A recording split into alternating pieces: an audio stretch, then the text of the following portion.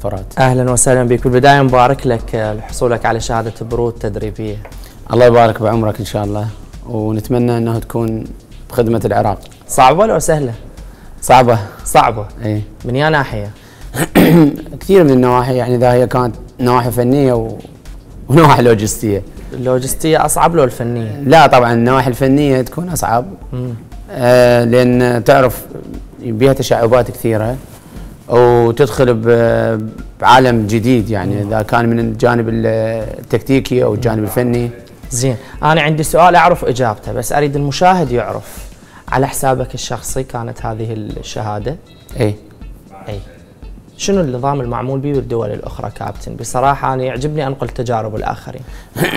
طبعا هي آه، طبيعية جدا حالها حال اي آه، دورة إنه تدفع اشتراك طبعا الاتحاد مالتك يبعث اسمك للاتحاد القطري. طبعا أول شيء بالبداية نقدم شكرنا للاتحاد القطري واللجنة الفنية بالاتحاد القطري. آه على استقبالنا يعني أنا والكابتن قحطان كثير أيضا نبارك له. أيضا مبارك له. آه تبعث اسمك وبعدين يعني هي عملية الاشتراك مالتها. إيش قد اشتراك؟ اشتراكها شوية يعني عالي 70 ورقة تقريبا. آه. 70 يعني صافي من صافي. عدد ال- ال- السكن اي والإقامة من عدد والسفر. السكن والإقامة والسفر وممكن آه، الكورسات تطول خمس كورسات أو ست كورسات. آه، يلحقها مثلا آه، معايشة مع أحد الأندية مثلا إذا طلبوا منك ممكن مرات يطلب منك معايشة مع أحد الأندية الأوروبية أو العربية أو إجباري إنه تحققه. آه، يعني نقول الله يكون بعون ما عنده يعني.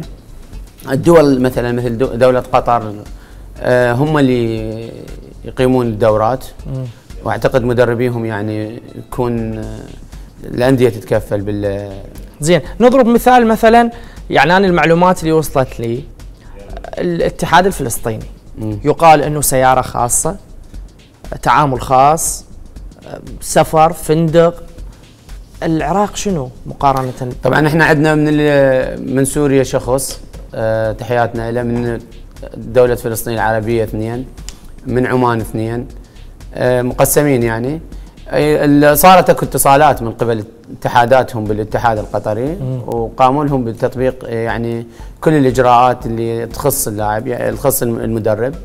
يعني من عندها الإقامة السكن من عندها السفر حتى الدفعات مال ال- الدورة. كان أكو تعاون ما بين الاتحاد الاتحادات.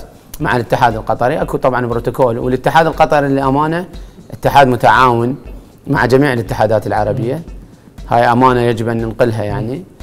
آه وفصارت يعني هذه الإجراءات بالنسبة للمدربين اللي يجوا من خارج قطر.